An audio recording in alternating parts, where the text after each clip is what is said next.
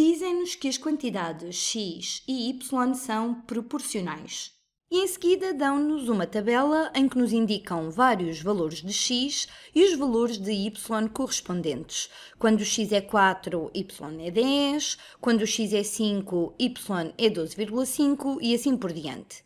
Indica a constante de proporcionalidade R na expressão y igual a R vezes x.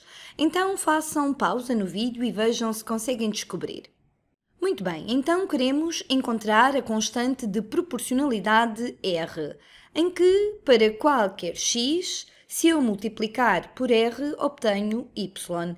Então, temos apenas de olhar para cada um destes valores de x e descobrir por qual valor estamos a multiplicar para se obter y.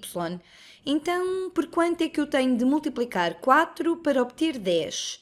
Bem, se multiplicar por 10 quartos, se multiplicar por 10 quartos, obtemos 10.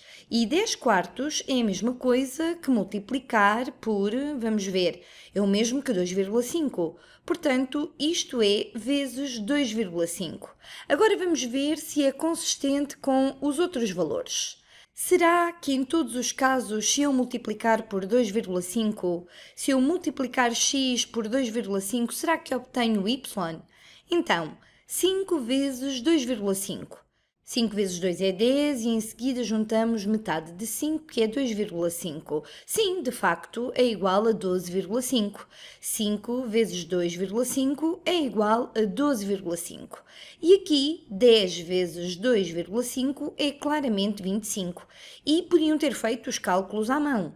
Eu fiz por cálculo mental e dá para ver que em todos os casos, se multiplicar x por 2,5, obtém-se y. Então, em cada caso, multiplico x pela constante de proporcionalidade 2,5 e obtenho y. Sendo assim, qual é a constante de proporcionalidade? É 2,5.